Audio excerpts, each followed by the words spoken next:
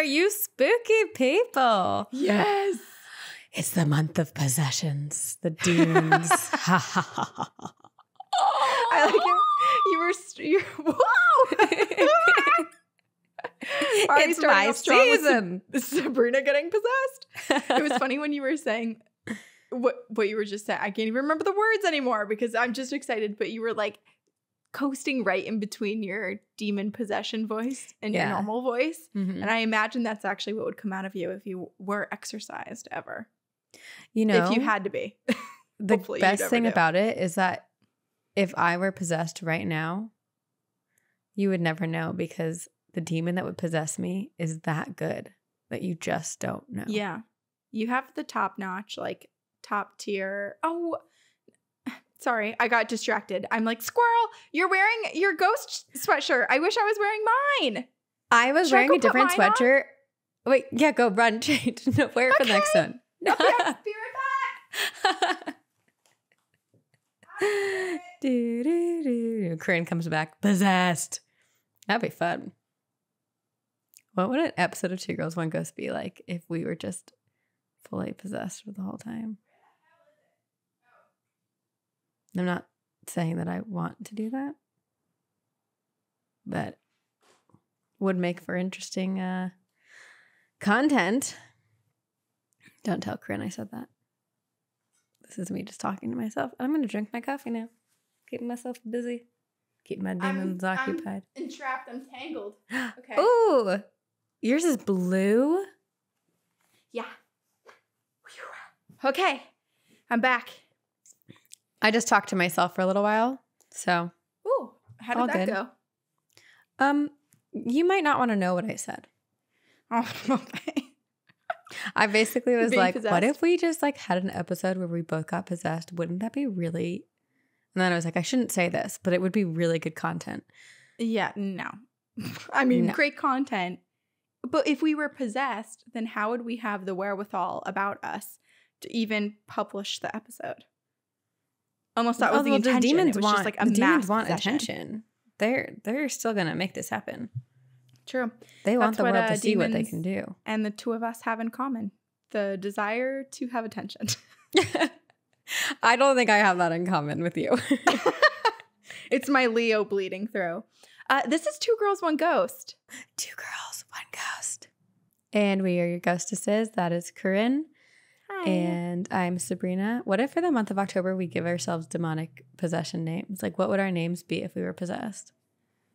I'll be mm, Katarina. I don't know. It's more like Ooh, a. that's if I very were a Vampire vampire, I feel like that would be my name. Yeah. name, right. That is the name of the lead in Vampire Diaries. That's probably why I'm thinking of it because I Mhm. did watch a lot of Vampire Diaries. So it's for sure that's where this is coming from. Yes. But it's like you know when you were taking like French class or Spanish class in middle school and high school, and you had to choose a name To for go by? But it, yeah, like we had the rule where I think it had to start with the same letter as your own name. Hmm. So I was always Carmen in Spanish. class. Carmen. Ooh, Now I'm trying to think of like what would start with a C or with an S. My alter use. ego is Charlie. So I'll just go with that. I feel like Charlie would be the name of your possessed little baby doll behind you as well. There Mama. Help me. Mama. I'm scared. Mama. Do you think when we have children, we're gonna scar them, Yeah. or do you think they'll sure. think this is fun? Oh, at first we'll scar them. Uh, they'll be working through that in therapy for years to come. But then they will also like have core islands of us doing scary things and like pulling pranks on other people. And the amusement park island, the Halloween Mhm. decor island. oh the yeah. haunted mansion island. Mm-hmm. All of the good memories. Wait, Believe it or not, we're actually recording this a day before you've predicted that I will have a child on that day. September 21st is tomorrow. We are- My calendar September just 20th reminded right me. Now. You haven't had a child yet, but you know, No. perhaps you could conceive tomorrow. Or well, I did just have have my year. period, so I'm not pregnant right now. Should we talk about the period app that I told you about? It's so, so, fun. cool. Yes. It's called Okay. Stardust. You tell me. Correct? Yes. Stardust. It is now on my homepage of my phone. It's so cute. It's so fun. Look at it. I mean, yeah, there we go. Sabrina's, for anyone watching on YouTube, she's showing her screen. But the Stardust app, it's a period tracker, and you can log your symptoms. Like you can say, you know, what's coming out of you, what you're feeling, all that stuff, so that you have it to look back on. farts, whatever it is. all of the above, ooey gooey, rich and chewy, deep blood clots. You know, like all of the above. What kind of niblets are coming out of you? Um, but I think what's really fun that you and I love about it is that based on your cycle, it Mhm. tells you kind of like what you are in terms of aligning with the stars and with the moon. And it gives you a different type of profile and tells you a little bit about yourself. Yeah, mine's not loading right now. Mine's so- not loading either. This is the worst timing. Okay. Well, we'll we'll post what we are on socials. But yeah, Yeah. like you're a full, you bleed on the full moon, don't you? Yes, I'm a red moon witch, is what it said. And but I was then it tells you things witch. about yourself. It's like what you're meant to do, like how you're empowered, if you're inquisitive, if you're, you know, it, it kind of Yeah. goes more into detail about like who you are as a person based on that profile. But like as the red moon witch, it means that I I bleed on the full moon. I bleed on the full moon. It's so witchy. I love it. So if anyone wants to track my cycle, that's If anyone wants to bleed with us, sync up. I was blood born on a full moon and I bleed on a full moon. Ugh, that's so cool. Right. I feel pretty cool about it. Wait, sorry, it came back up. Star Stardust is working. Okay. Alrighty. Um, so first it says, I'm born under the full moon. Full moon babies are diplomatic, caring, and excellent at navigating polarities. Your purpose is to learn how to trust your intuition. And then my cycle type is red full witch. Period on waxing gibbous moon. Ovulation on waning crescent moon. As a red moon witch, you menstruate when the moon is full. It's easy to remember. When the moon is full, so are your underpants. With blood. Red, red moon witches are historically linked to positions of wisdom and healing, like medicine women, healers, and oracles. You ovulate with the new moon, which means you're most fertile in times of regeneration and uncharted territory. Your domain is that of love and battle. wow. That's beautiful. I know. What's yours?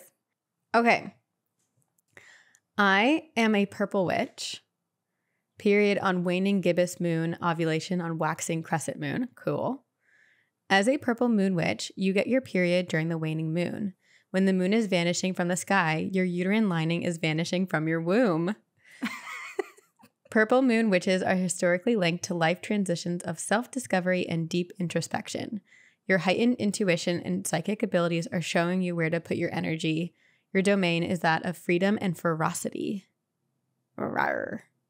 Rawr. I was born under the waxing gibbous moon. Waxing gibbous babies are introspective, flexible, and self aware. Your purpose is to channel your dedication into a cause you believe in.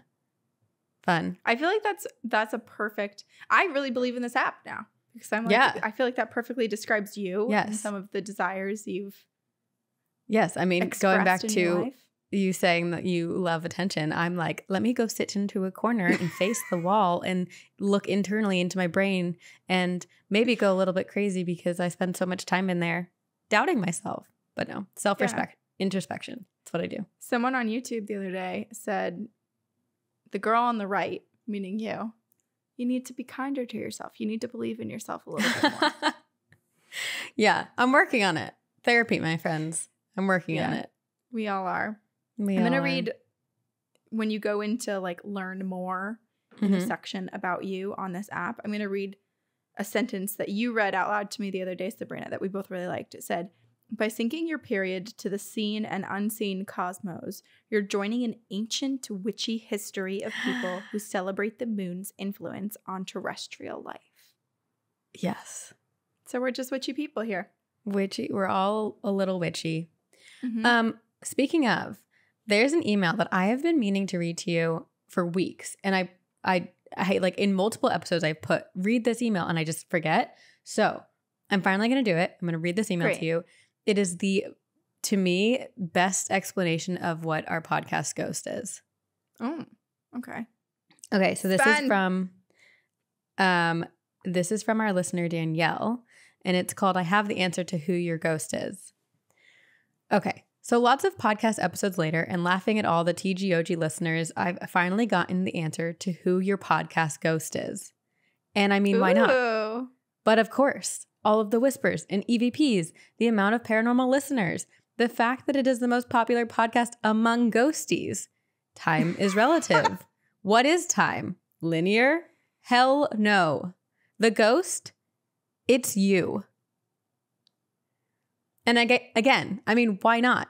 It's taking manifestation to the next level. After your passing, you guys continued podcasting and you gained all these listeners who wanted in.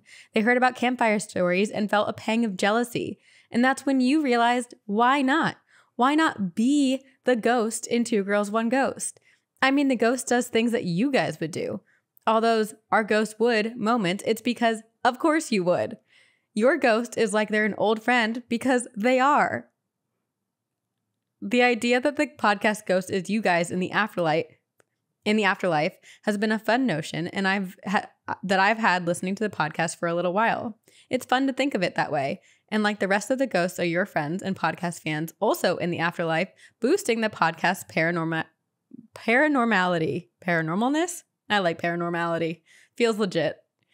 But anyway, hope you guys found this idea kind of fun too. Keep on rocking. This is so fun. I literally got chill. I mean, these sweatshirts are fleece lined, Fleece and I got chills halfway through that. What if we are the ones haunting Yeah. our own podcast? It's very um This haunting of Hill sense. House. We Little just came back. moment, Yeah. right? It's like, what if, So you know, we've done this for so long? Did you, what was that? I whispered so interesting, but I was also like shifting Oh. myself. So It sorry, sounded like probably sounded very creepy, but it did. It sounded like the Alexa app or the device, and also you were looking away, so it didn't seem like okay. Anyway, Oh. glad it's it was you, uh, but it makes sense. Think about all the times that you and I are like, oh, I don't even remember what we talked about in that episode. Our ghost selves are going back to be a part of those episodes because time is a construct that we made up. It's all existing all Mhm. at once, and we're just listening to ourselves tell the stories and maybe we're like wait no you guys this is not the right information and we're trying to correct it but we can't or it's just yeah, we know that if we push the book off the bookshelf right now, this is going to make for a great EVP for. And also to take this a moment uh, or a step further, what if it's not even just us? It's like everybody listens to Yeah. the podcast. You know, the diehard Yeah. phantoms. Like we are you're all welcome The ghost. this is the pyramid scheme everyone is in it forever for life you Right. sell you sold your soul to us into This the is so interesting. And maybe okay, this is a really good theory. I'm really into this because recently on TikTok, Sabrina, you had a viral TikTok, and a lot of people were like, I can't believe one, it doesn't matter. It was excellent. and we were like up all night watching the numbers, and Chris, we were like, yeah, so excited. but point being is a lot of the comments in there because we were we were, it was a clip from one of our previous episodes about the demon presenting as a baby in a fire. In the fire, from yeah. Dylan. Um, but point being is a lot of people were commenting being like whatever you speak out into the world will, will come for you. Basically telling us like don't talk about demons so openly. Don't talk about these things so openly. Like i mean our whole podcast is that so, and it's been five years. And this So I- whole I month is commented- that Right. And I'd responded to a, a few people being like, yeah, like we are pretty haunted, but like it's been five years and I, I don't know, we're like generally safe. So Yeah. what if, because we're the ones haunting our own podcast, we're also simultaneously protecting the podcast from what if my really guardian dark. We are Our- our, own. we are our own guardians and that's why you don't know yours is because i can't show myself to me and can't i'm show invisible to you. You're invisible. And also you just said like you don't want a bunch of attention. You're just like fine. no you're right being on the sidelines and only truly presenting yourself if you absolutely must. We can't cause a ripple in the, the time space continuum because physics. I think it's already happened. I think we're riding that wave. We are poking the hole through that. We're wrinkle in time. The wave. Here we are, baby. This time. Wow. Oh my gosh.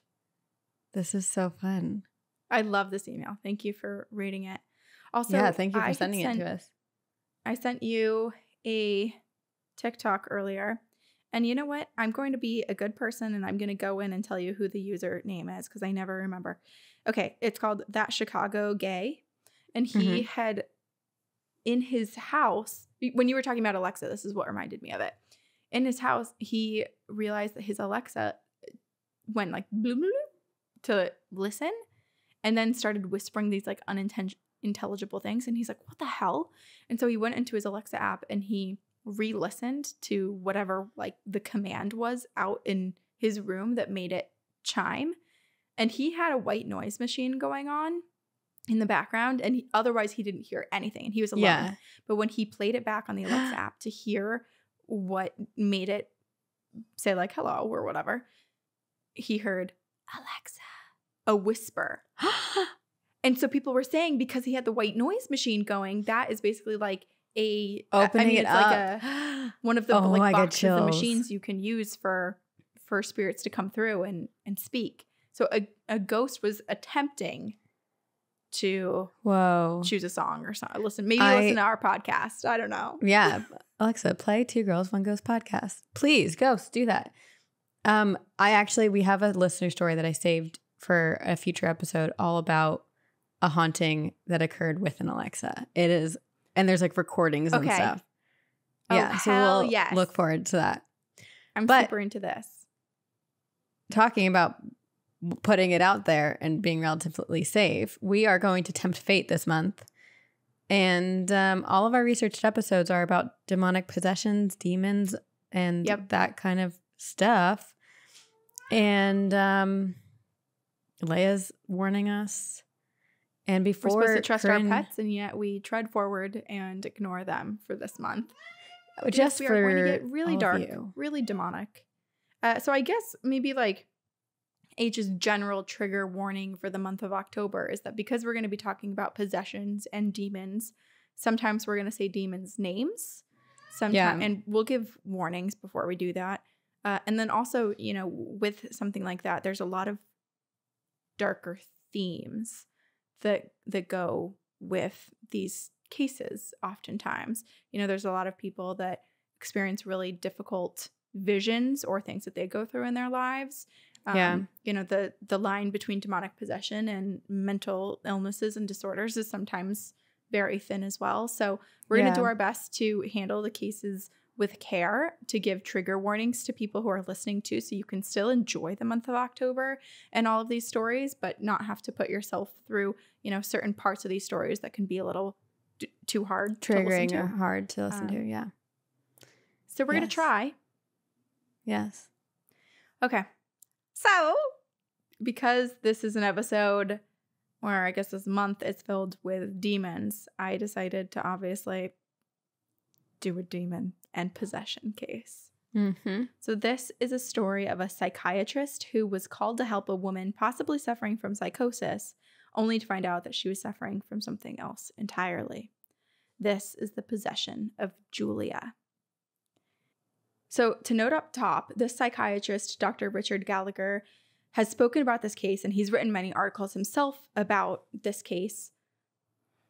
And he received permission from Julia, the one that he helped and took on as a client, uh, to share this information, but not to share all of the details of of where it happened, the exact timing, any really personal information that would bring people back to her. So Yeah. her real name isn't Julia, but that is the name that Dr. Richard Gallagher has used in his retellings and, and articles and books and interviews and whatnot that he's done about this case. Yeah. So, my sources for this episode are primarily articles written from Dr. Richard Gallagher himself, as no one else has come forward to speak of these experiences. Dr. Richard Gallagher was a psychiatrist. He graduated Princeton magna cum laude, and so he was right by your where you grew up, Sabrina. Yeah, that was my old stomping grounds. As a high schooler, we'd run around the campus and pretend we were college students. It's so beautiful there. Yeah, it is. So he graduated magna cum laude from Princeton, and then he trained at both Yale and Columbia for psychiatry. His brother says that Richard has a photographic memory, which likely helped him during his Ivy League education. And Dr. Gallagher now teaches as a psychoanalyst at Columbia University and as a professor of psychiatry at New York Medical College. And he's highly respected in his field of psychiatry. Yeah, I was listening about his story and it's so fascinating. Like he truly never believed in any of this until he was No. reading articles in college and are you going to talk about his brother's war experience? No, but you can right now. Okay, so I think this is a story, and I obviously was just like listening to a couple things while trying to like prepare for this episode. But he was at Princeton. He didn't believe in any of the paranormal or anything. He had read, um, I think, about the Roland Doe case and like was Mhm. intrigued by it and trying to understand like where does it, you know, is it a psycho- psychological issue or is it paranormal? And he was because he was studying psychology, he was, you know, leaning towards this is something more psychological. But his brother had found, I can't remember the reason for it, but had met this witch who had said that she was like a white witch living in Princeton or around Princeton area. And the brother was like skeptical as well and was just like, I don't really believe in it. And she was like, I can help you get rid of that wart. And so she does some type of ritual to help get rid of it. But he wakes up the next morning and it was still there. And the brother kind of realized, like, I didn't really give her a chance. Like, if I didn't believe in it, how is her magic supposed to help? So he goes back to the witch and is like, I want you to do it again. And this time I'm going to like give you the benefit of the doubt that you actually do have abilities and powers. She does it again. The next morning, he wakes up, it is completely gone. And he goes to meet his brother, Dr. Gallagher, and they neither of them have an explanation for it. And so that was like his first introduction to like, oh, maybe there are some things that we can't explain Right. in the logical sense. Well, and you know, it's interesting too because so Dr. Gallagher, like he and his brother were raised in a very Irish Catholic family. And Catholics believe in like heaven and hell and and obviously like the Catholic priests are oftentimes the ones that are doing exorcisms. But in terms of magic in the spirit world, there's a lot of resistance uh and, Yeah. and not a lot lot of belief, I guess. I mean, I was raised Catholic and it it was very like black and white where like here's the parts of it that we believe in and there's like a ton that we don't. Mm-hmm. And so it's interesting that they even kind of entertained when they were younger Yeah. this because Yeah. they did grow up like very like this is this is what we believe in and Right. here's what we don't. Yep. So hmm also wait, side note. You said it was getting rid of a wart or a mole or something? A, a wart. Yeah. I read the other day that you're not supposed to pick up pennies on the street because it's often used from or like by by witches to as some sort of like conduit for getting rid of warts. And so the the person who was saying it didn't provide any extra Oh. additional information, but in my mind it meant if you pick up a penny and it had been used to remove a wart, you might get that wart. Oh, interesting. That's so, So, fascinating. Food for thought. Okay. Well, pennies don't have much worth, so maybe don't pick them No. up anyway. Don't pick him up. Uh, okay, but Dr. Gallagher, he is also huge. He's six foot five. Apparently, he, he played in Europe or, or somewhere like pro basketball for a- a hot second. I don't know. This guy's like he's big, and everyone who knows him says that um, he's just like just this no nonsense guy. The way that he speaks about any of his cases, whether it be Mhm. now the cases involving uh, possessions and demons, or if it be just another patient that has a what we know is like a clinical diagnosis from the Right. DSM. He speaks so dryly and so matter of fact, no matter what he's talking about. So there's really Mhm. no sensationalism or like added flair when he's talking about this. he has a very clinical approach, and he has that deep. I've I listened to, um, a couple of hit, like recordings of him talking about certain cases, and he just has that doctor voice, Mm. like kind of deep Well, I didn't write much about any of the other cases, so at the end of this, you'll have to okay, add in any details that you Okay. remember. he has a whole. I mean, he's a whole career of doing this, so there's a lot Yeah. of different cases. multiple books too Yeah. for anyone who's interested in reading them Okay, so the idea of demonic possession never really crossed Dr. Gallagher's mind at all, or at least not in the sense that he believed in it necessarily. So he was always a skeptic, a man of science, and uh, as a psychiatrist, he felt that it was very important work to help diagnose people with mental mental illnesses so Mhm. that they could receive the proper care. So to Dr. Gallagher, a possession case could simply be diagnosed as psychosis, a mental disorder, or uh, some other mental disorders as well. To add some context into what was going on in the world when this case was happening, it happened in the late 1980s, which was the height of the satanic panic. Yeah. This was a time when in the US and spread throughout the world, there was just this deep fear that people were committing these terribly abusive crimes in the context of the occult or satanic rituals. And so there's just a ton of conspiracy theories that that arose throughout America especially but all throughout the world A lot of fear satanic- too. so much. It was very like Yeah. fear mongering in the news too. People were reporting these wild stories that never happened Yeah. about It's kind of like the know, witch hunt these- again. It's just like the more modern day version of it. Yeah. absolutely. And basically it was like, hey, uh, these satanic cults are committing all of these horrible abuses. They're sacrificing people and animals and killing things. And if your children listen to rock and roll or play Dungeons Yeah. and Dragons, like they too are going to become evil, They're and evil. possessed with Yeah. Satan. You know, Yeah. like it was it was yeah. Devil worshippers were feared and totally believed. Like whatever their magic was or the people thought their magic was. It was it was made to make people feel like they couldn't let their kids out of sight because their kids were not safe or their animals in their yard because the animals Yeah. would be abducted and slaughtered in the, under the full moon or like you know Yeah. that's what was going on Yep. uh, this is important to have in mind as context because that's what was happening when a Catholic priest approached Dr. Gallagher, a psychiatrist, or the psychiatrist that we're talking about, and asked for his professional opinion on a case. Dr. Gallagher had seen many cases of psychosis, dissociative identity disorder, schizophrenia, and similar disorders before, before. So he assumed that that was going to be the same for this case. He was going to take on a new client, likely was going to recognize that they were experiencing some sort of uh, signs Yeah. of mental disorder and then was going to treat them and help them. Yeah, because it- Gallagher, Dr. Gallagher has said, and I think this is common with exorcisms and possessions in general. Like, while there are plenty of cases of exorcisms, they're really hard to prove.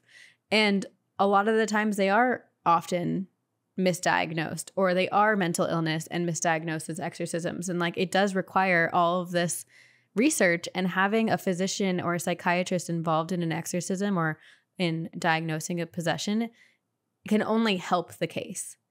Right. And I, I mean, I can't speak for all of the different varying sects of religion uh, in terms of how they go about diagnosing someone as possessed or whatnot. But I know for Catholicism, because we've talked about it before in different cases that we've covered, that there usually is some sort of psychiatrist or mental Yeah. professional brought in because they try to debunk it as much as they Yes. possibly can.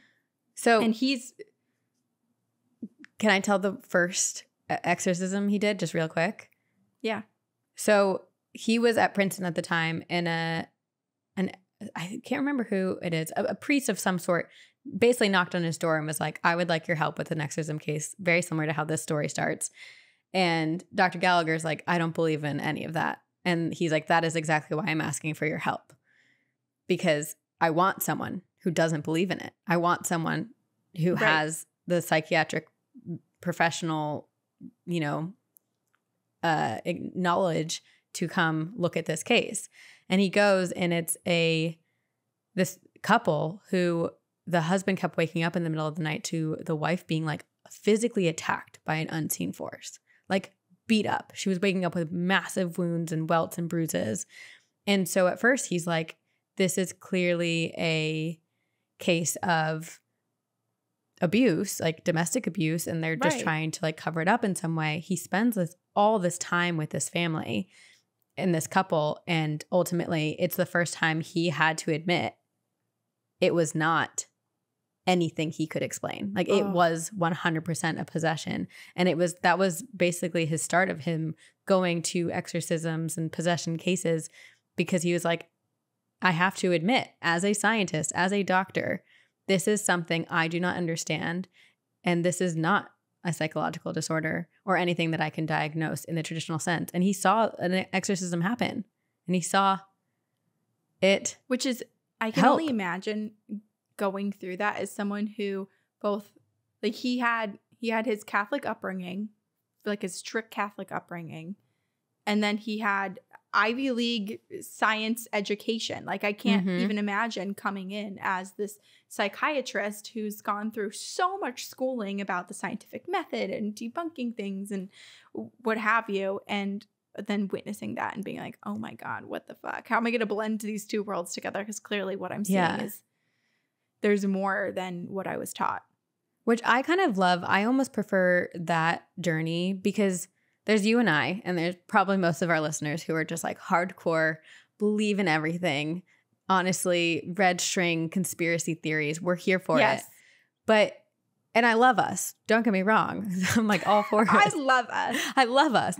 But I do love hearing these stories of people who have just really resoundly denied the existence of something, but have the knowledge of science and everything they're studying to back it up. Mhm. And then their reality is shifted and they're willing to allow that reality to shift rather than be like, you know, no, it doesn't exist. I'm going to stick to my guns. Like being like, oh, I'm acknowledging there is something that I don't understand. And this is not what I was traditionally taught, but I'm willing to adjust my opinion because I'm witnessing it. Which is good to lean into it because also what would happen if you just blatantly ignored things? I feel like Yeah. Yeah. there's the crack in your foundation and Yeah. you can't ignore that crack and it's just going to be there and get bigger And and, bigger. you're not going to be prepared for whatever happens Yeah. when suddenly you snap and or like the whole world around you Or you get goes possessed. past where yeah there's there's a lot but Yeah. he's an interesting guy and i'm i'm glad that he uh went this direction because now we get to Me tell too. stories so fascinating. so he uh basically had been helping out like similar to what you were saying sabrina with the first priest that came to his door he continued to help out the catholic church and many many many people overwhelming majority of people that he experienced uh were mentally ill and he helped Yeah. diagnose them Mhm. so a very small percentage of them were actually possessed. And so when a priest, who at the time was the most experienced exorcist in the country, told Dr. Gallagher that there was this woman who was suffering and he needed his professional opinion, again, Dr. Gallagher was like, oh, okay, I, pro- I can probably put money on the direction that Yeah. this is going in. So, oh, and by the way, I just want to say that at the time of the Satanic Panic in the 80s, there were only, I think it was like 10 at the time, exorcists in the United States. Wow. So there 10. was so few people who were practicing. And now the count is over 100, which still feels like a very small percentage. of Yeah. But at the same time, that's a, there's only 10 people. Right. And they're basically all going to Dr. Gallagher. Yeah, I, think. mean, remember this is we uh, the last demonic episode we did. We talked about how there was like a plea, a cry for more priests to become Mhm. trained in exorcisms because there was a rise of possessions. yes. And I mean, yeah, it's a little scary to think about It is scary. the rise in possessions. But yeah, it does make me wonder like what from the satanic panic that was 40 years ago at this point. Yeah, How much has that bled into our modern day and the the need Yeah. for extra exorcisms and exorcists? Okay, well, Dr. Gallagher, he's approached by this priest and he kind of hesitates. He insinuates to the priest that, in his opinion, this is probably not needed because the majority of the cases uh, are are just undiagnosed mental illness. He basically says like this is just going to be a bunch of hocus pocus. Like I think this girl, this woman is just like dragging you through the ringer. There she's making stuff up. She's like putting on a show from what I'm hearing Mhm. from you. So the woman in question was named Julia, or that's her pseudonym for this story and the pseudonym that Dr. Gallagher has given her. She was a middle aged woman with jet black hair who wore dark clothing and black eyeshadow. Julia was a part of a satanic cult and had made a very comfortable home for an entity to possess, and one gladly took her as host. So, conflicted with her choice, Julia approached a local priest who then referred her to this other priest, the one that was the top exorcist in America at the time. Uh, and then that priest is the one that brought her to Dr. Gallagher. Right. So she had been evaluated by two other psychiatrists already who were unable to di- diagnose her with any mental disorders. Wow. But this new priest still wanted to do his due diligence.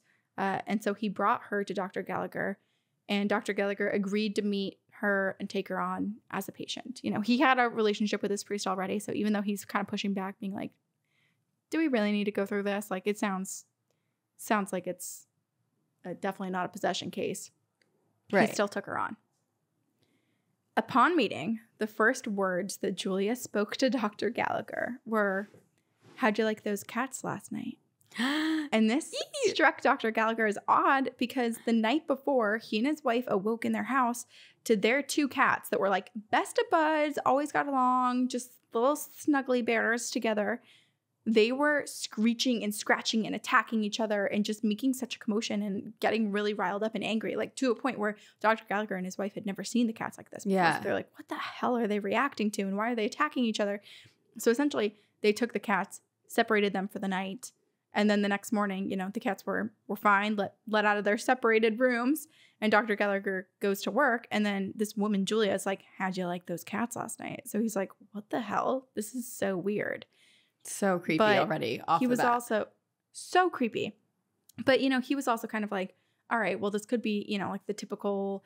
Uh, trick that people use that are fortune tellers where you say something like a little bit more general like if he was you know living in a city what are the chances that a cat would make a noise at night like probably right. probably relatively high. So kind of like throwing something out that's a little bit more general but feels a little bit specific at the same time trying to establish that connection.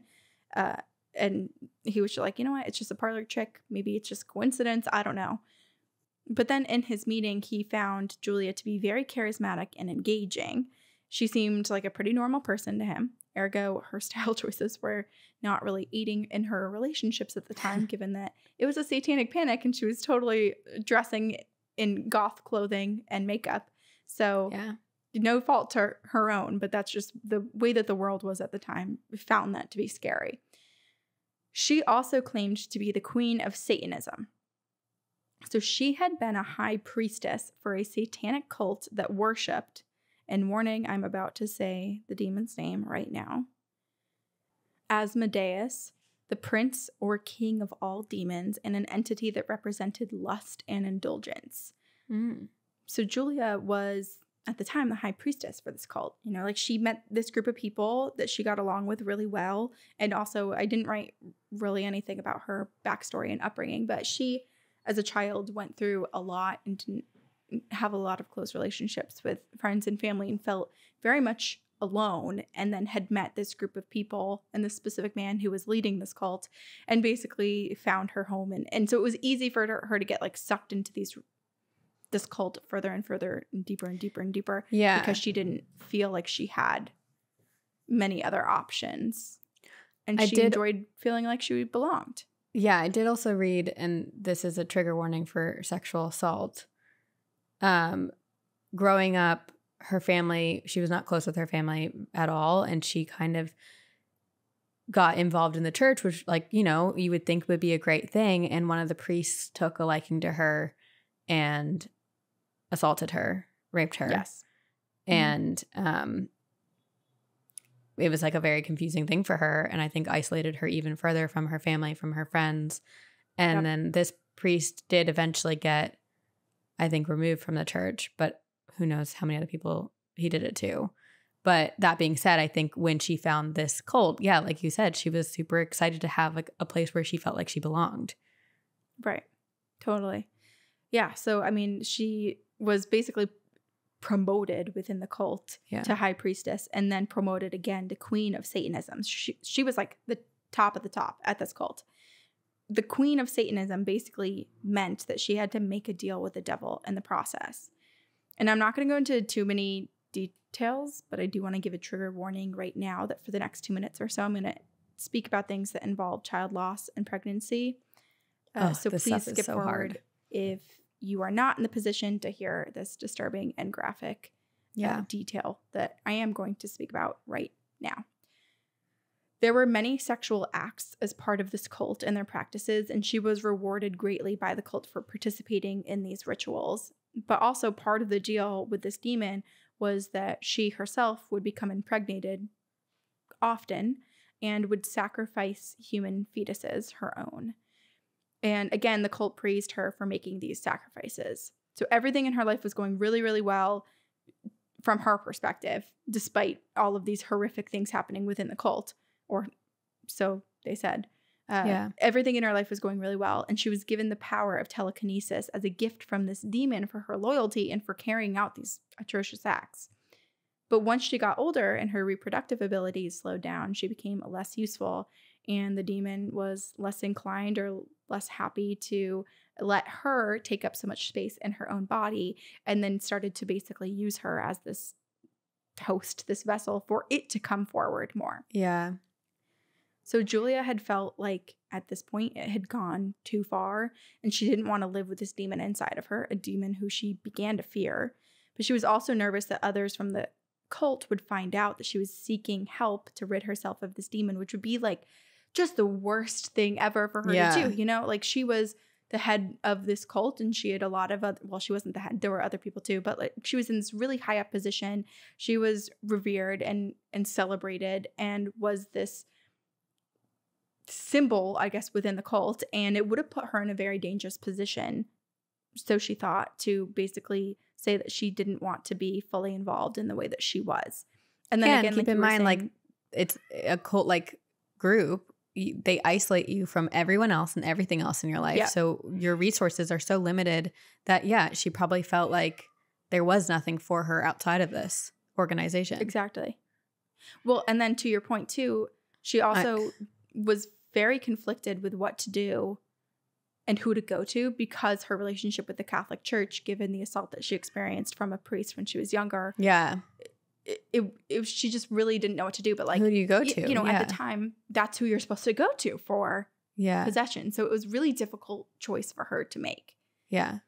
So, beliefs aside, Julia had a bit of a real life problem. Uh, and this is that aside from feeling like she was possessed, she basically knew she was because she would Mhm. experience these blackouts. She said she felt as though she would go into this trance, and during the trance like state, her mind would just be entirely blank. She wouldn't remember anything that she said or did during those times, but people around her told her that other voices came out of her. Oh my gosh. She also knew things that no ordinary person would know. It was like the psychic ability, but it was because she was possessed by a demon. So it's like the cat. she knew things. What? Like the cats, knowing that Dr. Oh, Gallagher's oh, yes. cats were going crazy. Exactly. So she would share this information with Dr. Gallagher. Information she knew about other people, information she knew about him, people that he worked with. And so he really was starting to be like, I don't like this, this is maybe this is a possession case. I don't know. But he's still, you know, going through the process of having these clinical visits for potential treatment and diagnosis. But in one of the psychiatric sessions, Julia brought up that Dr. Gallagher's mother uh, had died of ovarian cancer. And for a minute, he was like, yeah, talking a little bit about it with her. And then he realized that he had never shared this information with Julia about his mother passing or about how she passed. And this was this was pre Ask Jeeves. This was Yeah. pre Google. You know, like you and he couldn't just- apparently hadn't shared it. It wasn't like public knowledge. It's not something you could look No. up. And even like if she had asked certain people, like they could have known that his mom died, but he was like, people didn't really know that she died of ovarian cancer. Like that was a very specific piece of information. 1000%. And she would bring that stuff up a lot. Like she knew how people died. She knew things about themselves that were deeply personal, like their biggest regret, their biggest fear, their biggest secret that they've never told anyone. And she would be able to regurgitate it back, like things that people would uh, do horrible things to ensure would never get out. She knew. Leia's biting you. Leia's attacking me. Leia's possessed. She's like, I told you at the top of the show not to talk about demons. she was screaming and we didn't listen. Okay, so Julia's previous psychiatrist had also only met with Julia over the phone. So remember, she had met with two psychiatrists before and didn't get a real diagnosis from that. And so Dr. Gallagher's the third person she met with. Well, the previous one before him had only met with her over the phone. And yet she knew specific details about his home. She would be able to talk about his decor, what color the walls red were, what he was wearing, all of this. Yeah, the red curtains, all of this information. And so now Dr. Gallagher is even more like, holy shit, is this actually a case of possession? And his skeptical scientific mind couldn't really make sense of what he was witnessing with Julia because this was a really intense case for him. You know, like he had experienced some cases before, but this was just a culmination of so many details and abilities in one woman who otherwise was presenting as a, a very charismatic and and cheery lady. So Right. it was very confusing. Um, but anyway, so he's he's starting to think, okay, I need to start making some plans, maybe with this priest who brought her in. So he calls him and they start communing about making an exorcism plan and, and planning one. Julia and Dr. Gallagher had also been speaking in another session post Dr. Gallagher telling the priest, "Hey, we need to we need to uh, start planning an exorcism." Mm-hmm. And she begins to tell him about this other priest. So, not the priest that she met to go connect with Dr. Gallagher with, but another priest. And this other priest is actually someone who she hadn't, I don't believe, met before, but is someone who Dr. Gallagher and the first priest were planning to bring in for the exorcism. so, he was a piece of Oh my planning. gosh. And she's alone with Dr. Gallagher in the session, and she starts talking about this priest and how he's walking along the ocean right now, and that the wind is whipping against his blue windbreaker and his khaki pants. And Dr. Gallagher had chatted with this priest before in the planning phases, and he's like, I know that he's not at the beach right now. Like this is normally a time where I can I can catch him in the rectory. Like I can I can call him and he's always there. So he's basically like, this is my opportunity to prove to her that she's actually experiencing a delusion. Like, I Yeah. know that this is not the case. So he calls. This is real early days of cell phone. So I can only imagine what type of brick of a phone this priest had in his pocket. But he calls the, the this priest, the one that uh, Julia's talking about, and asks him where he is. And the priest said that he felt an urge to take a walk, and so he went down to the beach. And so then Dr. Gallagher is like, Well, what color top are you wearing? Oh And my priest gosh. goes, A blue jacket, the blue my gosh. windbreaker. And he goes, Okay, well, what color pants are you wearing? And the priest just starts laughing and said, Oh, you must be talking to Julia. So they knew, the priest Ah. knew what she was capable of and what she oh could my gosh. possibly see and do, which is terrifying. Yeah. It's horrifying. So Dr. Gallagher, he continues meeting with Julia, hoping that he will hopefully, you know, change his mind. It's all coincidence. It's all parlor tricks and magic tricks, and none of it's real, and it's not actually a possession case. But her powers, or should I say the demon's powers, uh, they pick up. In his office, as he's meeting with her, books will fly off the shelves in opposite direction while she's there. And a few months after meeting Julia, Dr. Gallagher officially deems her of sound mind and body and aids in scheduling an exorcism. So, like, she is possessed. Officially possessed. Forward with the exorcism. And also, Dr. Gallagher does not perform exorcisms and he doesn't actually diagnose anyone as possessed. He just diagnosed them, or he just essentially says that he cannot provide them any medical diagnosis that he's Yeah. aware of, which then basically triggers the priests or whoever is in charge of the exorcism to follow to yeah. to really start planning this ridding of the demon Yeah. uh, practice. So he said, quote, Dr. Gallagher said, quote, this is not psychosis. It was what I can only describe as paranormal ability, end quote. And so the priest who had originally brought Julia to him would be conducting this alongside others, including that that other priest from the the ocean walk. Yeah. the ocean walk. Julia, Dr. Gallagher, and the priest are all driving together in the car one day. This is like a week or two before the exorcism. And they're discussing the upcoming exorcism plans. So Julia's like fully aware of this. Yeah. And then suddenly, she goes into the trance like state. She's no longer present. Something else comes forward. It is a guttural voice emerging from her that yells, Leave her alone, you stupid fucking priest. She is ours. Oh.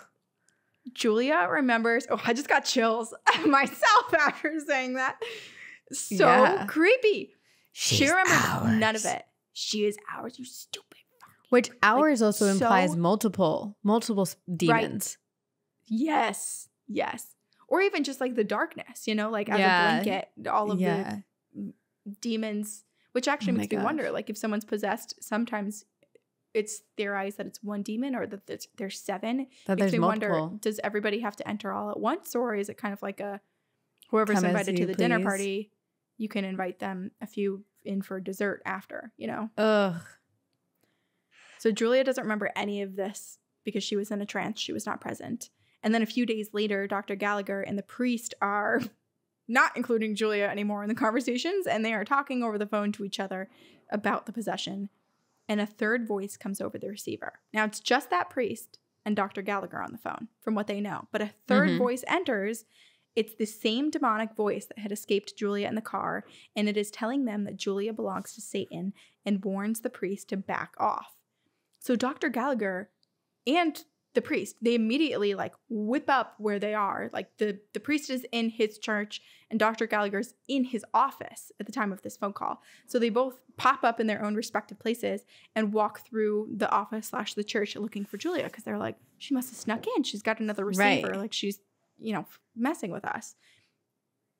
She's nowhere to be seen. In fact, they do locate her and she's thousands of miles away at the time Ah. On a similar drive from the time that Julia, the priest, and Dr. Gallagher had all been together. Julia is alone with the priest, and she again is pushed out by the demon. The voice is telling the priest to leave her alone, but this time shadows fill the window shield. Whoa, the window shield. shadows fill the windshield until he cannot see the road anymore. Oh and he ends up driving into a ditch. So all of these dark shadows start I- whipping in front of the car until it's utter blackness in front of him. It's like he's in this plume of dark. Yeah. this Which is so terrifying. I when I heard that part, I was like, it's so It's like scary. the underworld. Yeah, like what It's is what what is he summoning? What is this entity summoning? Is it like other souls? Is it other demons? What is it? Because it is absolutely horrifying. And I'm just imagining them like slowly engulfing the car. Yeah. Just tons of them.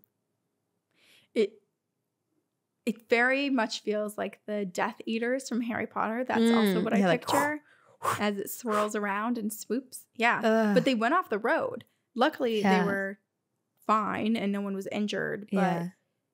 when the priest looked back at Julia after they'd crashed, he said she was looking at him smirking. So the demon had still been with her. Oh. So it became very clear to all of them that one thing was true, and that was that Julia was very quickly becoming not in control. She was Yeah. taking a second seat, the back seat to this demon in her own body. Oh, so scary. So she's in this constant battle to be present, but is still present enough at the moment to beat out this demon and basically say, like, hey, I'm going to go through with this exorcism. It's getting a lot stronger, it's taking up more space. So Julia's kind of rushing with the priest and with Dr. Gallagher, I guess. Well, Dr. Gallagher isn't really necessarily part of this exorcism piece of it, but does stay in contact with the priest and and hears what happens Right. after.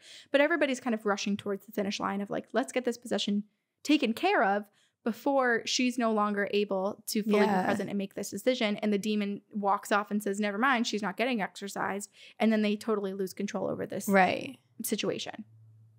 So the exorcism date was set, and it would be conducted in a simple church with an altar and one crucifix set up for a pretty routine exorcism. But despite what we see on movies, exorcisms don't often result in tables flipping and people screaming in tongues. Exorcisms that have been taped usually show just some general discomfort from the person. Well, I shouldn't say general discomfort. You know, there's like thrashing and whatnot, and it can be feel intense, but there, no one's crawling up backwards or having their heads go 180 and vomiting on the floor. Like it's not really what what the Hollywood shows us Yes. but it's still very mentally and physically draining on the people that are performing the exorcisms. It's still scary. So people are nervous. And you would think nervous. that there's they are draining on the victim of the possession as well. But Oh, yes. And apparently yet everyone has superhuman strength. Yeah, but apparently, I mean, I from what I heard, Julia like was not losing steam or energy for like hours. yeah. Well, we are about to get into this. Ugh. So everybody's a little nervous.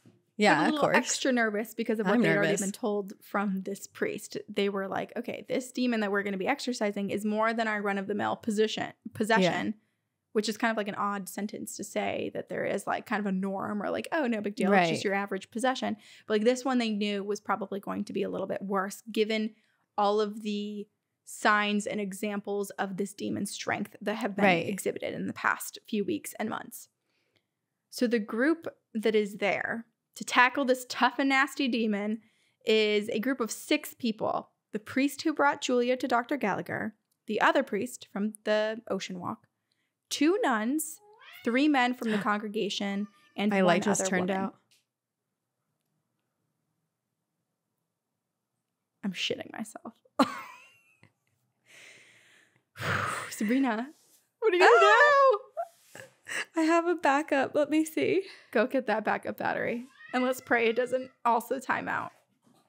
Otherwise, I feel like we're gonna have to pivot for October because what the fuck? Ugh. The worst part is that it's happening to you and not me. And I'm the one that did the research, but somehow you're the one that's experiencing paranormal activity at the moment. Mm, let's just say it died. It's okay. Let's just say it died. Just a glitch. Just something Yeah. weird with the Mhm. wires. Okay. Uh all right. so the group has the priest, the other priest from the beach, two nuns, three men from the congregation, and one woman. And the group waited patiently and nervously together in that room for Julia to show up for her exorcism appointment. Eek! And then Julia arrives. Dressed again in her typical outfit, her dark, flowing clothing, and heavy grunge makeup, Julia breezed into the room and she said a quick greeting to everyone, seemed to be quite nice to everyone who was already there, shaking in their boots, ready for her to come in. But, you know, she made a pleasant entrance, a quick hello, hello, hello. Yeah. Uh, though herself, she was a little bit nervous, but again, this wasn't her first exorcism. This demon had been attempted to be removed from her before. Yeah. Julia made her way to the center of the room and sat on the chair that had been placed there for her. The three women, the two nuns and the other woman, hover around her, placing their hands on her shoulders and arms to brace for any sudden movements from the demon. One of the nuns was also a trained nurse and was ready to step in should there be any medical emergency. The three men from the congregation stood close by as well. They were there as backup for a little extra muscle. There's a buzz about the air, and the energy has most certainly shifted. But the group doesn't know if it's Julia's presence or their own anticipation of what could come. They begin the exorcism in the standard way the priest reading Latin prayers from the Roman ritual. And then a voice erupts from Uh. Julia. It is this raspy, this hissing, this loud cry that reverberated through the chapel. The demon was awake. Between Eek. its growls, it spoke in Latin and then in Spanish. Two voices were slipping out. One was guttural and one masculine. Or sorry, one was guttural and masculine. The other was high pitched. These were languages that she didn't know. Julia did not speak Latin or Spanish. And also to your point, Sabrina, earlier when you were saying like we, like she's ours, it means more than one. Yeah. And the fact that there are two voices in here, it does kind of seem like there might be two entities residing. in Yeah. Yeah. The demon or demons that are coming forward make Julia thrash around in her chair. They're fighting against the prayers, and the two priests continue to recite these prayers over and over, despite everything that's happening. The three women are still holding her down. The men from the congregation are now off the wall, inching much closer and closer and closer, should the entity finally overpower the three women who had shifted now their entire body weight into keeping this woman, Julia, in the chair. Two hours pass. The demon has not given up. It hasn't told them its name or reason for possessing Julia. It is holding on to its host. And then, like a scene straight out of Stranger Things, Oh no. she running up that hill, Julia lifts from her chair. Actually, wait, I shouldn't say lift. She, that is not the right terminology. She floats at like a high speed. She's zooming out of her chair, floating into the space above the chair so high and so fast that for a moment, everybody in the room actually thinks that she's about to break through the ceiling. Like they truly think the demon's going to try to drag her flesh and body, bone, bloody Oh. being through the hardwood ceiling. Nope. So she flies out of this chair, being dragged by the demon. It's trying to escape, and the men leap forward. They reach as high as they can to try to grab Julia's dangling feet because this is a chapel. Like Stop. these This ceilings are is- high. I'm this is not no, I'm not okay with it. yes, this is very Vecna's curse. It feels like. yes. but this was in the eighties. Oh my gosh. So her feet are dangling. She's now kicking. She's thrashing, and the men are trying to grasp for an ankle, hold on to whatever they can get their hands on. They're holding onto her legs, trying to pull her down, but all of their weight won't make her budge from floating in this position in the air. all of them. she remains lifted high in the air for 30 minutes. Stop. Not two minutes, 30 minutes. No. A half an hour. No. No. Can you What is imagine going just through all there? of their minds for 30 minutes as they're trying desperately to keep her Oh my god. and pull her down? I just 30 imagine minutes. that room must have smelled so bad because I'm just picturing like all of the like nervous sweat and bo and probably I, I would assume someone would have peed themselves, right? I feel like I would have. I'm about to right now. Right? I just feel like it would be a real stinky room. Jeez. Okay, so one of the nuns now grabs some water and places a little swab of it on Julia. It's ordinary water, it's not blessed, to test what the demon's reaction is going to be. It's already up in the air thrashing around. It's really scary. So they just want to see like what what more could happen. No reaction to the ordinary water. So now reaching for the holy water, the priests begin anointing Julia. The demon then yells, Leave her alone, you fucking priests. Stop, you whores. You'll be sorry. You should do that in your demon voice. Okay. You'll be sorry. You'll be sorry. Yeah. Uh, and I'm sure they felt very sorry after because And terrified. it's absolutely horrifying. And so these angry words spoken by the demon turn to violent and agonizing screams as the holy water is Oh being my put on gosh. on them. And the priests are reciting these prayers and anointing this entity or entities. The many voices And of that's the probably entity- so difficult to I'm just imagining psychologically you're witnessing this woman, Julia, who who you've seen as a competent human being screaming and mm-hmm. writhing in pain, but you, you have to like disconnect that pain from her and associate it with these entities that are harming her. But like you're hearing her voice, her screaming, right. her pain. Well, it's so scary too because it's like with all of this that's happening, I, I would assume the body has a response. And so it, it would be hard to witness someone also kind of like contorting in ways that you know are going to injure them or knowing that their heart rate and their blood pressure are going to spike to really, really dangerous levels. Like there's a lot of, I mean, uh, I think that's partially why they had one of the Yeah. nurses there or one of the nuns that was also a trained nurse present in the room because it does a lot of harm to the person who's hosting that yeah. demon as well.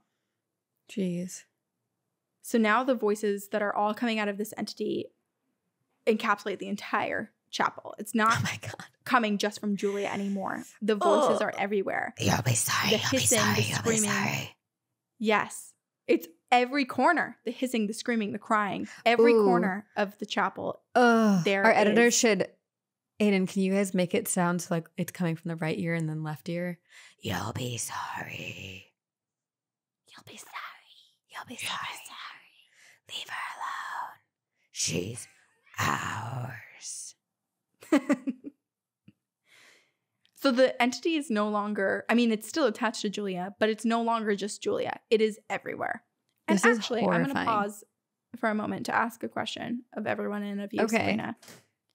I feel like this is a question that doesn't get asked enough when it comes to exorcisms and possession cases. Okay. When the entity is being ripped out of someone else's body, what's to stop it from possessing anyone else in the room? And also, Oh. has one ever possessed a priest? Well, isn't that the whole um that's the case of Arn Cheyenne Johnson, I think that's his name. Or Art, something like that. We covered it a while back. And he was at a possession or an exorcism and then became possessed. Uh, but there's got to be more care or, or some sort of steps taken, right? To protect Yeah. everybody in the room. I don't know. Be- especially if it's like the way that this was, is it splintered into a million different pieces, Ugh. basically. It's, it was like part of her, but it was also in every inch of space in this chapel. And so it's like, how do you escape it? You don't see one point that you can run from, it's everywhere. Yeah, I don't know. And the thing that also scares me is like, like we've learned from Rick, the Rick episode, Dominus 12, it seemed like this demonic entity, when it wasn't possessing Rick, could possess other things. So it's like, why is this demon so just holding on to Julia if it if it's not Mhm. there all the time and it is able to possess other people at other t- it just I just don't understand them and it's so confusing and there is no logic and or it's hard to Right. think of it in logic sense because they are beyond the Yes. rational realm of And I would just the world. Right. I feel like they're they could make it easier on themselves too, right? Like Julia's clearly seeking help. She's going to different psychiatrists, she's going to different priests. Isn't there mm-hmm. an easier host? Someone who isn't going to do that? Someone who's a easier sitting Yeah. duck? Like, yeah, maybe she was a great partner for a while, but now she's not. So like let her go and find someone else. Not to Yeah, I don't make someone else possessed, but like I don't understand the the need to stay when there's clearly so much resistance happening. Yeah. It's like an obsession. They can't, they're Mhm. addicted to her body. Okay, so now, like I said, the voice is everywhere. The demon is spread out throughout the chapel. Its presence is felt. The temperature in this trap chapel drops to freezing and then swings up to unbearably hot. Then it's cold again, then it's hot again, then it's cold again, then it's hot again. Like this demon is fighting. And then it stops. Everything stops. Everything returns to normal. The priest concludes the exorcism by saying amen, believing to have successfully banished this Oh, no. entity. Hours have gone by. This group is exhausted. Yeah. Julia, I'm exhausted in the chair, right? It's I can't even imagine hours of that. Like you have to be alert every single second Yeah. of this. You can't space out. You can't take a moment to yourself. Like everybody's present fully. Julia, now seated in the chair, opens her eyes and looks up at the priest. Her face filled with concern. She still feels it. oh no. Oh, no. Julia never allowed another exorcism to happen, though she remained possessed, and she returned to the cult. Dr. Gallagher says, quote, exorcism is not some kind of magical incantation. Normally, a person has to make their own sincere spiritual efforts too. So the thought is that because Julia was so torn between her religious group and getting rid of this possession, the demon had the upper hand here. And even though they gave all of their best efforts with this exorcism, it just was never going to work because she wasn't fully, wholeheartedly Yeah. ready to banish this thing. She wasn't ready to be fully exorcised. Oh, and so it stayed. A year later, Dr. Gallagher spoke to Julia on the phone. She called him to let her to let him know that she had cancer. He offered to meet with her again and to move forward with another exorcism, but she said, "Well, I'll give it some thought." And that was that. He never she heard had, I from her think- again. She had expressed like she wanted to be exorcised of the possession before she died. Like she knew she was going to die, but I think the implications of what that meant of like going through the exorcism Mhm. again was probably just too much to bear. And she had also gone back to the cult. So, you know, like Yeah. again, the same sort of situation and complications arise when it comes to her relationships. And Yeah. She wasn't, uh, she was in the same position as she was before, whereas like the desire was there, but she had a lot of conflicting beliefs and desires as well that like Yeah. maybe she would have gone through with it and it wouldn't have resulted in anything different. Maybe she would have still been possessed. Right. So after he spoke with her, he lost contact with her and never heard from her again. So he presumed that she did lose her battle with cancer and with this demon. Dr. Gallagher went on to professionally consult on hundreds of more possession cases, the large majority of them resulting in psychiatric diagnosis. Though there have been a few cases, like Julia's, where there are no conceivable medical cause, and he can't ignore the superhuman strength, the levitating, the telekinesis, and the telepathy experienced by the few. He said one time there was, quote, one woman who was about 90 pounds soaking wet. She threw a Lutheran deacon who was about 200 pounds across the room. That's not that's not psychiatry. That's beyond psychiatry. Jeez. Dr. Gallagher approaches each case with skepticism, and he never diagnoses possession, but rather informs the clergy that the symptoms in question have no conceivable medical cause. To conclude the story, I'll leave you with this quote from Dr. Richard Gallagher. He says, quote, it is pos- is it possible to be a sophisticated psychiatrist and believe that evil spirits are, however seldom, assailing humans? Most of my scientific colleagues and friends say no because of their frequent contact with patients who are deluded about demons, their general skepticism of the supernatural, and their commitment to employ only standard peer reviewed treatments that do not potentially mislead a definite risk or harm vulnerable patients. But careful observation of the evidence presented to me in my career has led me to believe that certain extremely uncommon cases can be explained in no other way and that is the possession of Julia and the attempted treatment from Dr. Richard Gallagher. I would love to talk to doc- Dr. Richard Gallagher. I feel like, and he does do interviews on podcasts. I'm I'm pretty sure. So um, maybe we could talk to him. Let's hit him up. Um, let's hit him up. Um, I did hear also that during this Julia case, so she was trying to, as she was going through this exorcism, like understand what her role was and how she could leave this satanic cult. Mhm. And the cult, uh, as as similar to the demon, would not let go of her and refused to let her leave, as is something we've known and learned about cults. Like people don't leave. It's just not, or if they do, it's very difficult. They try to blackmail you, they try to hurt you right. in any way they can. It's fear mongering, it's blackmail, whatever they can do. Well, and there was one specific guy too that was sort of like the main guy that led this cult as Yeah. well. So it wasn't just this group of people who collectively were like, we're going to keep her, but there was this one man who was very Yeah. responsible for the brainwashing of the majority of Right. people supposedly in this group. Yeah. So apparently they also like and everyone who was involved in this diagnosing her as possessed and exorcising this demon from Julia were became victims of this cult of this leader who I guess Dr. Richard Gallagher's wife once got a phone call from it sounded like a, a police officer or you know some type of Mm-hmm. official uh, agent saying um, your husband was in a terrible car accident and might die basically. She's freaking out. She's calling all of these hospitals in the area trying to find where her husband is at and like she can't reach anyone. No there's no record of him anywhere. She thinks that he's died or dying. Right.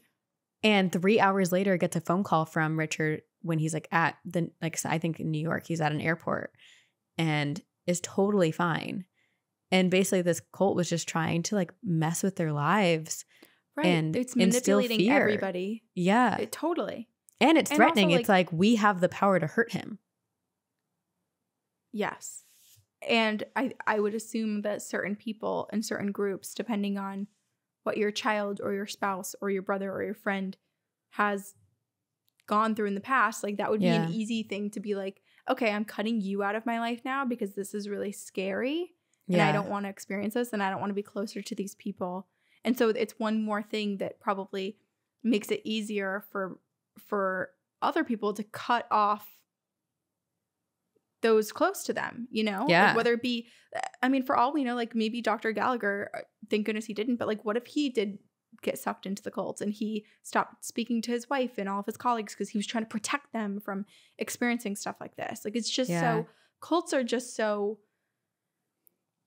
there's it's so complicated, right? It's so complicated. Each one is different and the the methods that they use sometimes unpredictable, but in the end it all goes back to psychology and manipulation of people Yeah. and it's just really scary. It is. And this possession is terrifying and it's so sad to to Mhm. know that Julia died without any reprieve and that she wasn't able Yeah. to rid herself of this entity and that yeah, it just it's heartbreaking and I'm just picturing her levitating for 30 minutes is it's just for people who don't believe in demons, it's I, I don't know. I guess I'm of the belief like it's better to believe in things even if you don't understand them. This is just my personal opinion because then I feel like you can learn about them and try to better prepare yourself to understand it or I guess maybe I'm I'm afraid of demonic possessions so by learning about them and hearing about them I feel like less terrified. I don't know. It, I guess it's Yeah. like the way that people are into true crime and serial killers. It's I was just, just like going to say the same thing. wanting you to feel like as a- woman especially i think the majority of true crime listeners end up Yeah. being female and i think that part of that is because we, we some part of us is fascinated with learning what what could go wrong or Yeah. what are the steps that could eventually save us should we be in that scenario and the Yeah. chance of being in that situation is so incredibly slim it's like when i was younger i was obsessed with reading all of the books the worst case scenario survival guide Mhm. and under like memorizing them. Like what do, what do I do if a crocodile attacks me? What if I do if there's quicksand? And it's like I've never lived in and will probably never visit a place that has that. Yeah, It's like the need to know what to do. yeah. I don't know. I don't see a problem with that. I'm with you. I don't either. Yeah. Also, I I'd rather had a- know and never have to use it than find myself surprised in a situation and have Right. no clue what to do. Although I, yeah, I do feel very safe with this community we have at Two Girls One Ghost and with you, just because I feel like if I started acting a different way, you would instantly be, be able to pick up on it, or other people would be able to pick on it, or or if something weird started happening while we're recording, like I feel like we have so many people behind us and supporting us to mm-hmm. help us through it, which you know, I kind of feel, and I'm going to knock on wood when I say this. I feel like we have demon proofed ourselves because we have built this community that is so safe and protective and light and happy and supportive that like no demons There's just can a come ton in here. of good energy. yeah. yeah. Yeah. I agree. Well, I mean, and maybe we're all protecting ourselves from the other side in the future too. Yes. Okay. So Well, to end this episode, I have a listener story um, from our listener, Julie, and two stories. One is sleep paralysis, and one is about a possession. So I'm going to read both. But the possession Okay. one reminds me a lot of the Julia story. Hi, Corinne, Sabrina, and Ghost. Longtime listener here, and I thought it was about time I send in a few stories. But the first thing is, and it's funny, is when I found out that people were listening to things called podcasts in probably late 2018 or early 2019. I searched for paranormal slash ghost podcasts because I wanted to find others that believed in the supernatural as much as I do. And I landed on TGOG. I'm so thankful I did. You two are really so great, and I hope to catch a live show one day. Okay. As some background, I grew up in a Christian household and considered myself religious until maybe my junior year in high school when I started to question things I didn't feel were adding up or aligned with what I believed. When I was young, my family relocated from the Midwest to the Southeast in the late 90s. We went from moderate Christians to born again and started going to churches that preached heavily on sin, damnation, and spiritual warfare. And no, it's not what you think. These weren't some of the back these weren't some back of the woods churches. One of them was a megachurch, while the other had a thousand plus members. This is important because although I don't consider myself a Christian anymore for various reasons, it has shaped the way I view evil spirits. And here are a couple of stories that have made me think, what the fuck just happened? Sleep paralysis, end of high school. I had my second encounter with sleep paralysis back in high school, about the time I started questioning my faith. In reality, I was pretty much done because I was tired of hearing that I and my other and my friends of other religions were going to hell. It wasn't uncommon for me to have nightmares, so I had a nightlight and there was an outlet near the end of my bed, and the end of my bed faced my closet. Well, on this one night, I was sleeping and the paralysis feeling came over me. I could sense a presence from behind, like they were standing behind me. And I woke up, but I wasn't awake. I could see my room, the light shining from my nightlight glowing by the end of my bed, and that knowing that I wasn't alone, but that there was something evil with me. Then I felt it by my neck. And in that moment, it whispered in my ear Julie, let me help you. Ooh. It's hard to describe the voice. It was almost tempting and seductive, but also just not right. And I knew it was inhuman. From my fear, I turned to what I knew and felt a power to scream something on the lines of, Go away in the name of the Lord. From that second, the presence jumped to the end of the bed and was captured in the light from the nightlight, and I saw the shadow creep down on the floor, and I woke up for real this time. I still felt the presence in the room, but it was fuzzy, so I screamed for my brother. And I want to say that I was crying and hyperventilating at this time, but if I wasn't, that emotion was there. I told him what happened, and he prayed to clear the space in the room. Once he was done, we went into the kitchen because I was still shaken up. Now, here's where it gets even wilder, in my opinion. And I always feel like this is the part that people wouldn't believe because oftentimes think it is fake. My brother in the kitchen asks if I'd like to pray with him. Reckon I'd like to reiterate that I was already having doubts and questioning religion, and honestly, I wasn't that close with my brother. But I said okay. We bow our heads, and I begin to say, Dear God, please help. And then I start speaking in a different language. What? I can hear myself talking in a different language, but I know in my mind I'm speaking in English. So I stop abruptly and try again.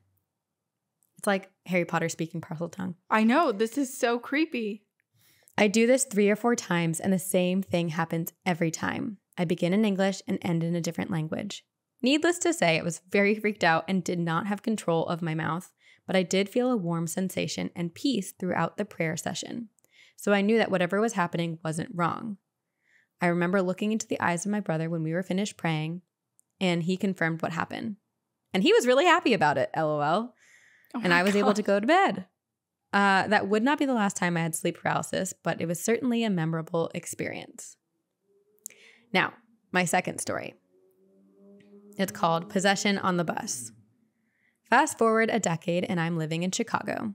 To set the scene, it's a Sunday morning, and I'm taking an early bus to work around 9:30 a.m.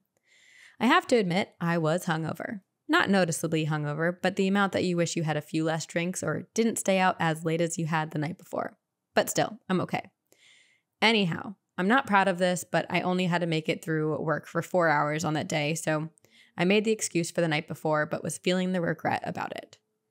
I get on the bus and it's pretty packed, but there was an empty seat right behind the driver, so I take it. On this bus, the seat that's behind the driver is elevated and you don't face the front, but you face the aisle. Then the most of the other seats face the front, and there are two levels. The back of the bus is also elevated and face the driver. Most, if not all, the seats were taken, and there are also people standing in the aisle.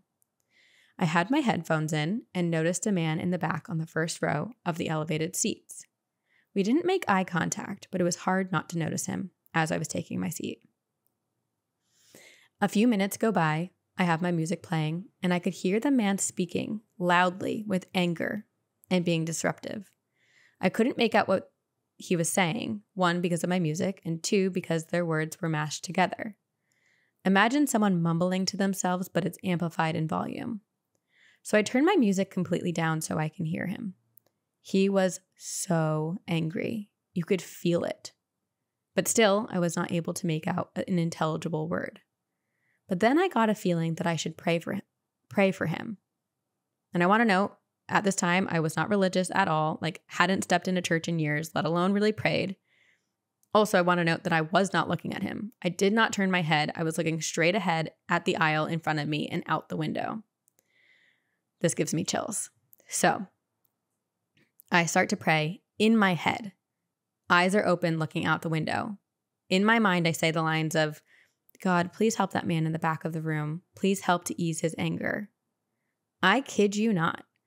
Out of nowhere, this man's voice goes from unintelligible to clear and perfect, and he says, Your God can't help me, you bitch.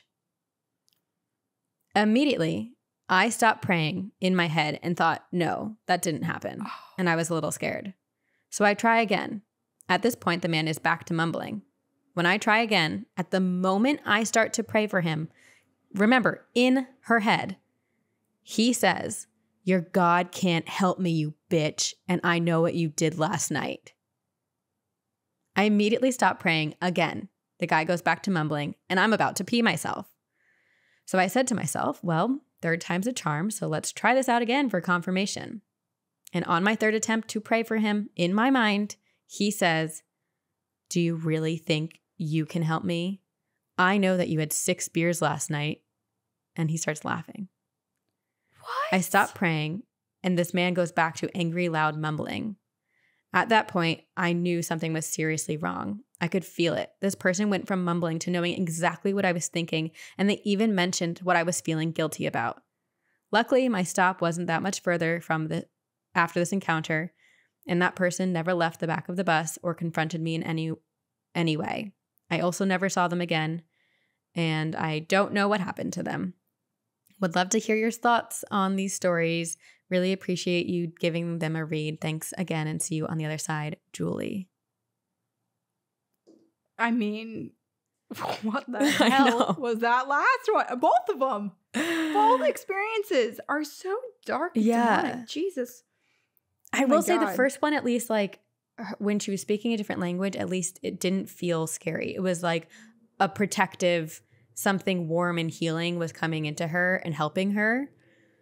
At- Mhm. After the scary part, of course. After Um, the scary part.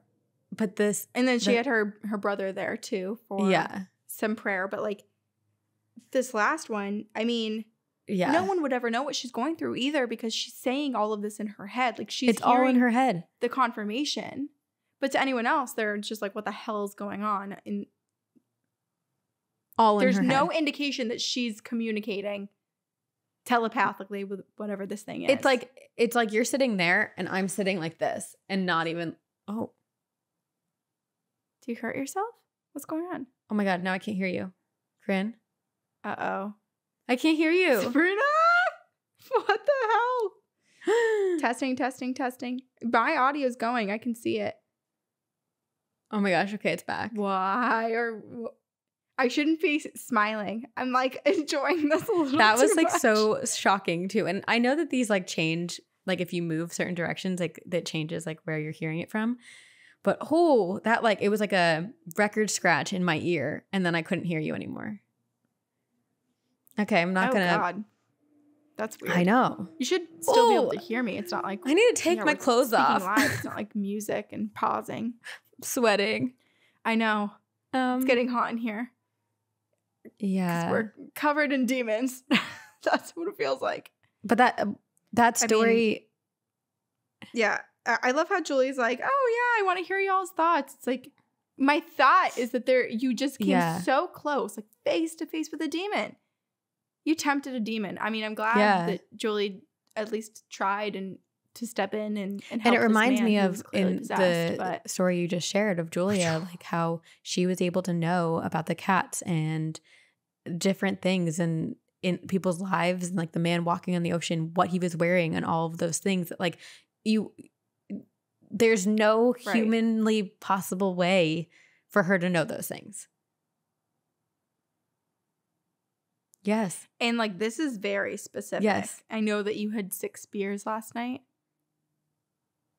If you said that to me, most nights I'd be like, that's wrong. right.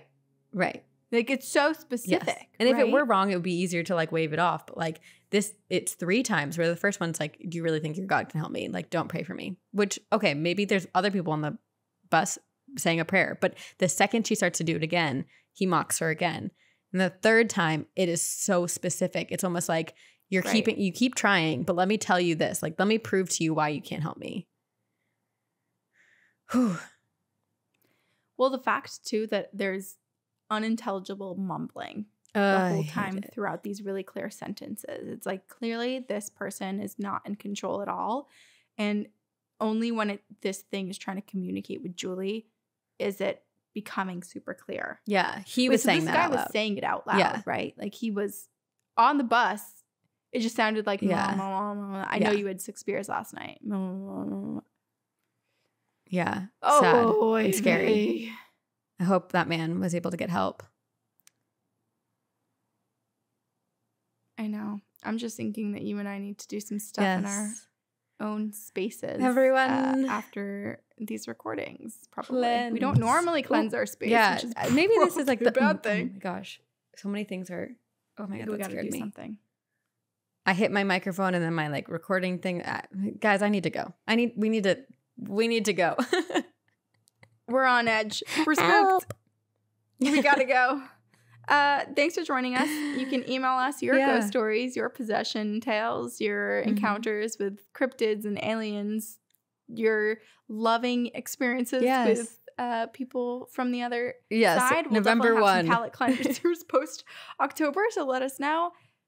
November one. Uh, you can email us that at two girls one ghost podcast. Your audio is also now delayed. I can like see your mouth moving before I hear you. Ugh. technology issues. Well, also Yes. head over to iTunes, rate and review us, please, on iTunes. That really does make a world of difference. Do that for us. Do that for the other podcasts you love. yes. Uh, and also join our pyramid scheme by going to two girls one ghost.com, Buying joining our. Patreon, buying some cool pyramid stickers that you can Match slap all over the with place these new and sweaters telling we everybody have. about us. embroidered little ghost. Match They're very us. warm. hmm Yeah. Um, With the matching and sweatpants. Watch us on YouTube. Co- come subscribe and comment on us. Comment on us. Comment on I don't know. Comment on YouTube. God, I sound like a grandma. Um, we love you all. Thank you for being here with us. We hope you're staying safe and uh, not possessed this Halloween spooky season. And check out our social media. We are doing 31 days of Halloween and sending recommendations of our episodes, books, podcasts, movies throughout the whole month. And it's fun. Also, yeah. We're also going to be doing a costume contest Yeah. with some awards. So be sure to follow us on social media so that you can. and thank you to our editors at. Fire Digital, uh, Eric Foster, Aiden Manning, Max Lodian. Thank you so much for editing our podcast. And um, It's a thank you, but it's also a we're sorry because you don't have yes, a choice but to potentially Yes. become yeah, sorry. possessed and haunted because Um, you have to just send them a bunch of like cleansing kits, some like crystals. Yeah. yeah, I think so. anyway, thanks sorry. all for joining us, and um, don't get possessed. See you and we will on see other you on the other side.